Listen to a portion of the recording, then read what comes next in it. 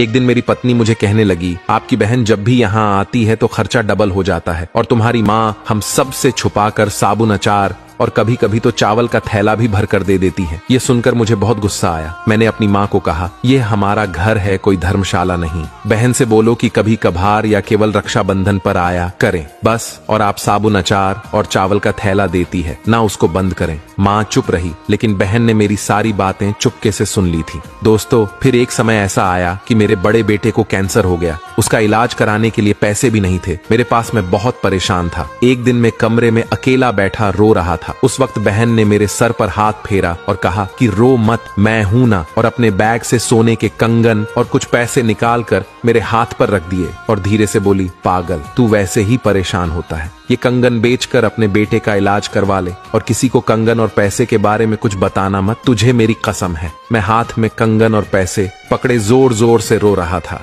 मेरे साथ मेरी बहन की आँखें भी नम थीं। बहन अपने भाई को कभी भी दुख में नहीं देख सकती है। इसलिए दोस्तों, अपनी बहन का आदर सत्कार करें। वह जब भी मायके आती है, आपसे कुछ लेने नहीं आती, बल्कि वो ये समझकर आती है कि मेरा एक भाई भी है।